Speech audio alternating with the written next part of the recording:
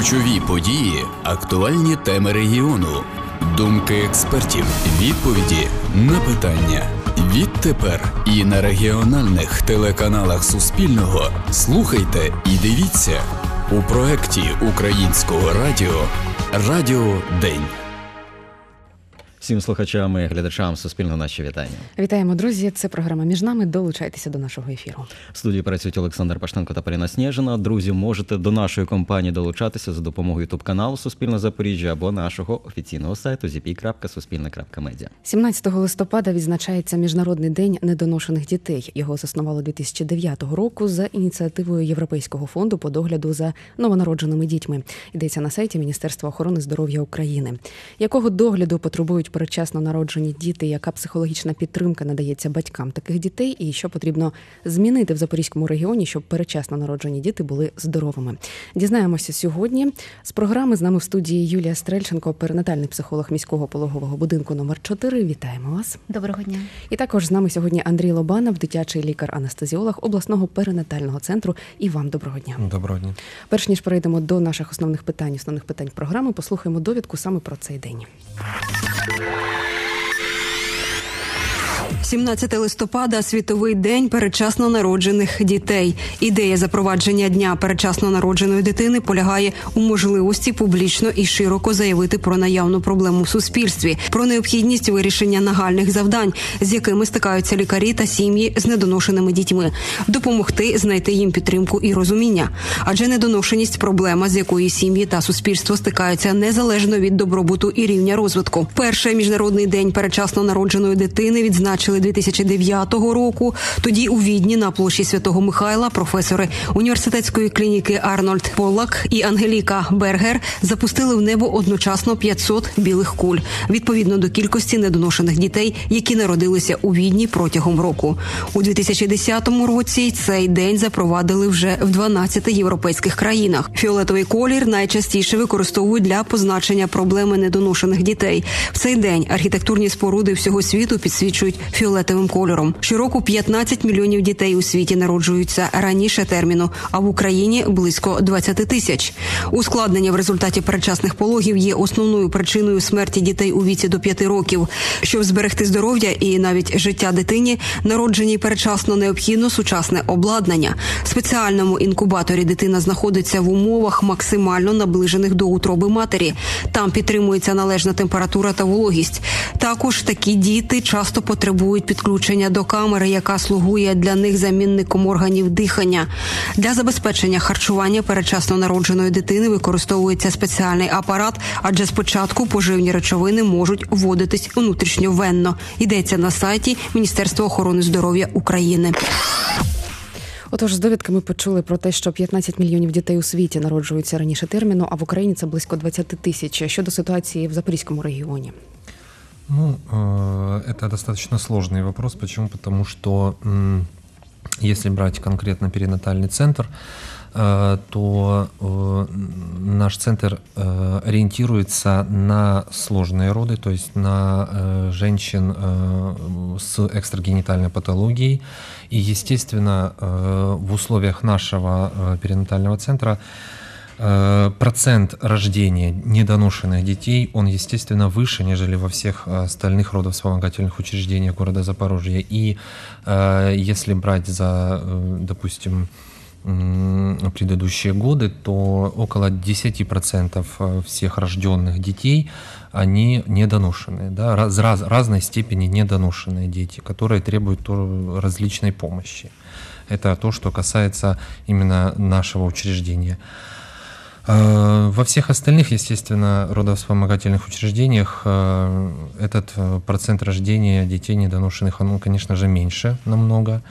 Ну, в принципе, он варьирует из года в год, и тенденция к рождению недоношенных детей в последние годы все-таки она растет. То есть ее все-таки становится, эта тенденция прогрессирующая. И, естественно, меняются постоянно подходы к лечению, меняются и наше отношение к многим состояниям недоношенных детей. Поэтому, ну вот, скажем так, такие данные по нашему центру. Коли вважається дитина недоношеною? Значит, основной критерий недоношенности у новорожденного ребенка – это срок гестации, то есть термин беременности, в котором ребенок, э, срок беременности, в котором ребенок родился. Это ниже 37 недель. То есть 36 и ниже – это уже недоношенность. Який коефіцієнт виживання таких дітей? Все зависит от, э, глуб- э, от э, степени недоношенности, потому что э, с переходом Украины э, в условия оказания помощи от 22 недель и выше, э, и от 500 грамм, э, э, которые Украина приняла эти критерии для оказания помощи недоношенным детям, э, естественно, э, начала меняться и статистика выживания этих детей. Все, что, э, все дети, которые рождены э, ниже 26 недель, их выживаемость, конечно же, э, меняется, тенденция меняется в сторону улучшения, но все равно остается еще достаточно, смертность остается достаточно высокой. Проценты сложно сказать. Если это ниже 26 недель, то это а, 50% все-таки дети могут не выживать в этом а, сроке. Вот. а, И многие из них могут в дальнейшем иметь э, различной степени нарушения здоровья и развития дальнейшего. Вот. Но, э, в принципе, э, в последние годы все-таки мы видим, опять же, таки определенную тенденцию к некоторому улучшению этих показателей, потому что э, меняются подходы к лечению, меняется и респираторная поддержка, меняется, э, сам- скажем так, протоколы оказания этой помощи. То есть, в принципе, э, все, что выше 26 недель, их, э, особенно выше 30 недель, их выживаемость э, достаточно высока. И э, данные по нашему перинатальному центру, э, они все-таки говорят, что мы оказываем на европейском уровне помощь недоношенным детям, поскольку за прошлый год у нас э, процент летальности э, среди новорожденных составил 4,5%. Это очень низкий показатель, как раз тот, который сравним с европейскими показателями. Ми маємо коментар про причини передчасних пологів, про патологію вагітності. Цей коментар Олександра Тарасова, ординатора гінекологічного відділення пологового будинку номер 3 Преждевременные бывают Передчасні бувають це до 22 тижнів передчасне переривання вагітності як викидень, а після 22 тижнів уже вважаються передчасні пологи. Основні причини цього гормональні, інфекційні та генетичні. Генетичні більш характерні для передчасного переривання вагітності, назвемо його так, до 8-9 тижнів. Аби зменшити ризики, потрібно правильно вести жінку. Для цього вагітність має бути спланованою, а сама майбутня мама обстеженою ще на допологовому етапі. Вона обов'язково повинна познайомитися зі своїм дільничним лікарем-гінекологом, обговорити всі нюанси, родинний анамнез, пройти гормональне обстеження, пройти обстеження на торч-інфекцію, проконсультуватися разом із чоловіком або партнером у генетика, щоб виключити хоча б уже наявні проблеми. Якщо ж проблем немає і на даному етапі їх не виявили, тоді повторне обстеження слід робити на початкових термінах вагітності. Особливо ретельно повинні обстежувати жінки, у котрих в анамнезі вже був викидень, завмерла вагітність або перечасні пологи. А стрес може стати причиною переривання вагітності або ранніх пологів? Должен Це має бути дуже виражений стрес. Як правило, такий стрес може вплинути, якщо спостерігається низьке закріплення вагітності. Тоді починається кровотеча на його фоні, або ж низьке передлежання плаценти. Але для цього має бути дуже велика інтенсивність стресу.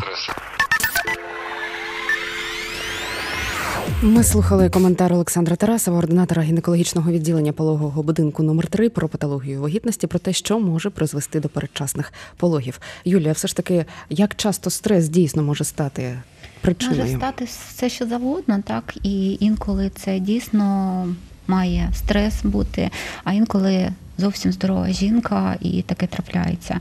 Але ж таки е, дуже добре, коли вагітність е, супроводжують і лікар-гінеколог, так і е, психолог, і допомагають жінки з. Їх з усіх сторін, щоб уникнути усіх можливих, е, ну, щоб, щоб, щоб нічого не відбулося. Дійсно, є історії, коли це і стрес, але все ж таки потрібно е, дивитися з усіх сторін, тому що як перебігала вагітність, який був стан до вагітності, що траплялося з жінкою, тому що ну, може трапитись що нам угодно, і е, причиною може бути теж що завгодно. Якщо існують якісь патології, як е, родичам вести в цій ситуації? Ну, перш за все, це потрібно це прийняти, так не відокремлюватись, не казати, що мене це не стосується, або е, зі мною це не станеться. Все ж таки е, ну, розуміти вплив, що може відбуватися, і відноситись до, до цього всього ну дуже свідомо. Якщо це вже трапилося з сім'єю, дуже важливо так підтримка.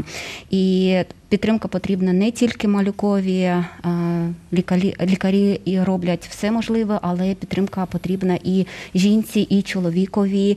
І це дуже важливо, щоб вони підтримували один одного, розмовляли про це, шукали фахівців, які їм допомагають, не залишалися один на од... на самотності, не закривалися від цього, адже дитина вона і після пологів залишається з матір'ю, вона її відчуває, і дуже важливий емоційний стан матері.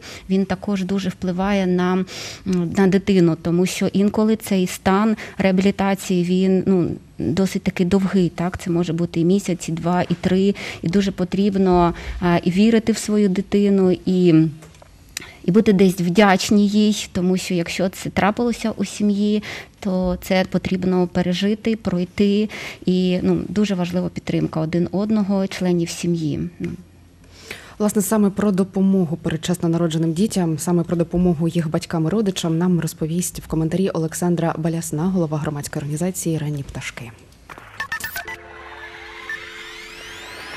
Коли маля народжується перечасно, важливо залучати до виходжування всю родину, незважаючи на те, що у відділення може потрапити зараз найчастіше лише мама. Варто пояснювати старшим діткам, що немовля знаходиться в інкубаторі, що це ось така коробочка з паленням, своїм освітленням, це його хатинка. Простими словами, для того, щоб дитині було зрозуміло і щоб дитина не відчувала цієї втрати зв'язку разом з батьками і розуміла всі процеси, тому що коли дитина буде разом з батьками про- проживати цей період, то і дитині буде простіше потім інтегруватися і розуміти, що відбувається. Важливо інколи використовувати навіть малюнки, малювати разом майбутнє або нинішній момент. Ця старша дитинка може намалювати листівочку, передати це, поставити на інкубатор для свого маленького братика або до сестрички. В кордонній практиці дуже часто використовуються навіть книжки, е, які так і називаються для братиків сестричок, які знаходяться у відділенні інтенсивної терапії.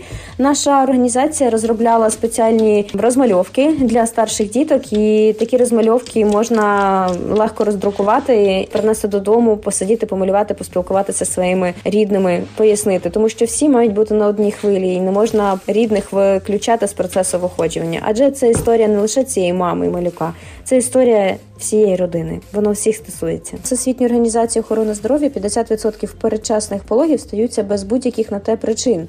Тому, коли стається така ситуація, обов'язково не варто себе картати, звинувачувати або шукати, що ж мама зробила не так, що такі пологи сталися. Фактично, це може статися в будь-якої мами. Головне надавати такій мамі підтримку психологічно, якщо можливо їй допомогти з організаційними питаннями, приготувати їй їжу домашню, попрасувати одяг, привести відділення, підтримати її. Якщо їй потрібна якась допомога з пошуком ліків, не залишати таку родину наодинці. Наша асоціація надає підтримку таким батькам психологічної допомоги на гарячій лінії підтримки 24 години на добу, 7 днів на тиждень, і не лише з інформаційно-психологічним блоком, а також з питаннями юридичної підтримки, з грудного вигодування, з катамнестичного спостереження, а саме з медичного догляду після виписки дитини з відділення інтенсивної терапії або виходжування. А можна знайти інформацію на нашому сайті ранніпташки.ком.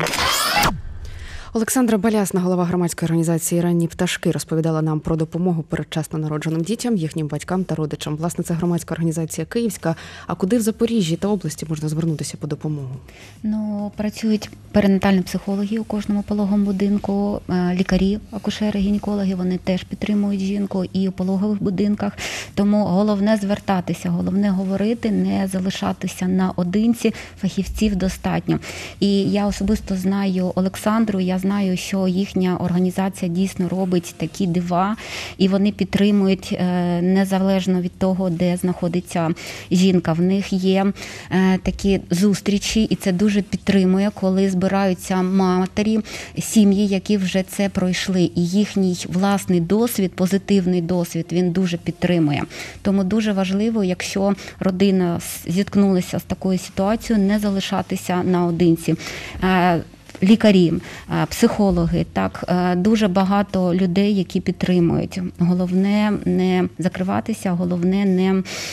е, Не відокремлюватись від всіх, тому ця організація дійсно я її дуже знаю, дуже поважаю, дуже рекомендую. Але і кожному пологовому будинку міста Запоріжжя працюють перинатальні психологи, які теж допомагають. Ну, якщо мамі допомагають чи допомагають і вистачає спеціалістів вже для дітей, і який догляд вони потребують? Э, Значит, ну, смотрите, М, естественно, мы э, с психологами, мы как врачи-анестезиологи и неонатологи, которые и работают непосредственно э, с детьми, мы постоянно общаемся с родителями, мы оказываем им тоже психологическую поддержку. И, э, естественно, тут основное требование к родителям, чтобы не бывает такого, что э, родители э, и мама, и папа готовы к рождению недоношенного ребенка. Вот на самом деле это достаточно очень низкий процент таких людей, которые просто-напросто с первого момента все осознают и все понимают. На самом деле они все не готовы к этому. И э, самое главное, э, чтобы родители действительно не закрывались в своей проблеме и слышали рекомендации, слышали э, то, что доктор, специалист, который лечит ребенка, э, какую, как он, э, какую информацию он доносит до родителей, чтобы они, э, э, чтобы общение было двусторонним. Вот это очень, э, это самое главное в э, скажем так, в э, адекватном взаимодействии между родителями и э, лечащим врачом.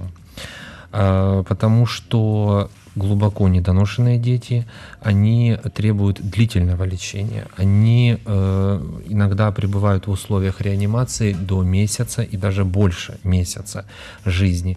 Э, Поэтому Тут, естественно, нужно настраивать родителей на, скажем так, долговременное взаимоотношение между лечащим врачом и родителями, потому что это очень ювелирная работа, выхаживание этих недоношенных детей, а, чтобы подарить э, родителям, дать родителям на руки не просто ребенка, который родился преждевременно, а ребенка с а, достаточно высокой перспективой на дальнейшее развитие. Чи вистачає боксів і іншого обладнання для того, щоб дитину Э, Ну, эм, скажем так, м, достаточно положительная тенденция в последнее время отмечается в обеспечении аппаратуры, потому что э, если мы возьмем э, буквально там лет 10 назад, то это была совсем другая ситуация. Сейчас, в принципе, вот то, что касается нашего отделения э, в перинатальном центре, то э, оно рассчитано на 9 коек, и аппаратура, которая у нас имеется, мы в состоянии обеспечить этот поток детей, которые э, рождаются и преждевременными, и доношенными, но они требуют помощи в реанимации. Также хватает аппаратуры для того, чтобы оказывать деткам, которые хоть и недоношенные, но не требуют реанимационной помощи. Поэтому и дыхательная аппаратура есть, и она обновляется, и проводится поточный ремонт, поэтому ее хватает, собственно говоря, на самом деле ее хватает. Вот. Ну, обновление, конечно же, требуется постепенное, постепенное обновление требуется. Ну, это все дело времени, поэтому... А які наслідки для здоров'я таких дітей можуть бути у майбутньому? Значит, самое главное э, и наиболее часто встречаемое м, последствие недоношенности различной степени – это поражение нервной системы. То, что в дальнейшем неврологи э, констатируют так называемый церебральный паралич, ДЦП – это ну, э, та причина, которая м, возникает у этих детей э, основное последствие, да, потому что с, лего- бывают и легочные проблемы, респираторные проблемы, но вот поражение нервной системы это наиболее часто встречаемое среди всех патологий, скажем так. А щодо наслідків для мами, як е, після такої, наприклад, першої вагітності, коли дитина народилася передчасно, як їй наважитись на другу? Я хочу ще трошки доповнити, що дуже важливо, якщо сім'я стикається з такою ситуацією, то перш за все прийняти її, так не, не звинувачувати себе і не карати, і не знаходити, чому так сталося, а прийняти цю ситуацію, слухати поради лікарів та не порівнювати свою дитину з іншими, Е, сприймати її такою, якою вона є, і не забувати жити, жити кожен день, тому що це дійсно може бути довгий реабілітаційний час, цей місяць і два, і кожного дня потрібно жити, надихатися і цінувати те, що от крок за кроком, да, наближуючи до того стану, коли вже дитина а, ну, має змогу прийти додому зі своєю сім'єю. А що робити, якщо мама хоче відмовитись від такої дитини? Ну, е, взагалі-то ну, бувають різні випадки, так і е, як психолог я можу сказати, що е, ми проводимо бесіди, е, ну, взагалі не, не тільки з цією історією, а взагалі-то з матерями, які приймають таке рішення. Так, ми робимо з ними, проговорюємо, шукаємо усі можливі. Такі, знаєте, пазлики, щоб все-таки зложити цю картину, щоб створити і для неї умови, тому що завжди за цією причиною стоїть щось. Або це страх, або це недовіра, або це ну, не такий страх не впоратись у своїх силах. І дуже важливо їй підтримка, що в неї все вдасться, що в неї є сили, що вона не сама. І коли вона відчуває, що ну, цю підтримку, то ну, все вдається. Але якщо ну, мати приймає таке рішення, то це її рішення, це її історія, історії сім'ї. Але я вважаю, що кожен повинен зробити все, що, що можливо, щоб все-таки дитина залишилася з мамою, бо е, дитині, крім мами, ну, мало хто допоможе в цій історії. І е, Мені ще дуже хочеться розповісти про такий метод, який має назву метод кенгуру, коли дитинку викладають до матері або до батька шкіра до шкіри. Якщо дитина дитинка відчуває серце, відчуває тепло, і це те, що не потребує ніяких фінансових затрат і нічого, але це те, що робить дійсно дива. І коли вже має змогу це робити, то це потрібно робити, викладати дитину, і це а, дуже гарно спливає і по ліпшенню здоров'я дитини, і в матері просипаються такі материнські інстинкти, і е, лактація дуже гарно. Тому що ну, це дійсно той метод, коли, е, який потрібно е, завжди е, приймати в цьому в в цій ситуації. У нас є ще один коментар про емоції. Про емоції батьків е, передчасно народжених дітей. Коментар від координаторки громадської організації Ранні пташки Ксенії Веревегі. Батьки передчасно народжених дітей, коли стикнулися з тим, що в них народилася така дитинка, переживають всі фази втрат. Невіра в те, що це сталося саме з ними, це нерозуміння, чому так сталося, несприйняття ситуації. І е, ці відчуття вони рівнозначні до втрати по силі емоцій, і це є дуже дуже складно. Різниця в тому, що з цими відчуттями, з цими емоціями батьки перечасно народжених дітей можуть жити дуже дуже довго і навіть не усвідомлювати те, що вони зараз переживають. І тут ми говоримо не тільки про мамів, в першу чергу це торкається їх, але також і про е, татів і всіх найближчих е, до сім'ї. Це бабусів, дідусів, е, братиків, сестричок. Кожен з них переживає це відчуття і цю ментальну втрату по різному. І це є насправді дуже складно. Наслідки цих втрат насправді можуть проявитися навіть не відразу, а згодом через роки. Для багатьох вони можуть пройти безслідно.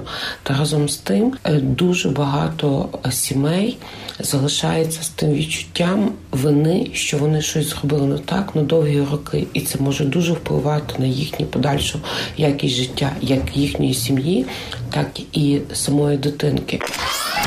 Ксенія Веревега, координаторка громадської організації Ранні пташки, розповідала про емоції батьків передчасно народжених дітей. Отже, вже майже на останок нашої програми буквально декілька слів про те, що треба зробити, аби зменшити ризик передчасно народжених дітей. Я хочу як психолог сказати, що потрібно вірити, вірити в свою дитину, що вона, якщо прийшла в цей світ, то в неї є сили. Вірити в неї, вірити в свої сили і приймати ту допомогу, яка йде до сім'ї з різних сторін. Пане Андрію, коротко.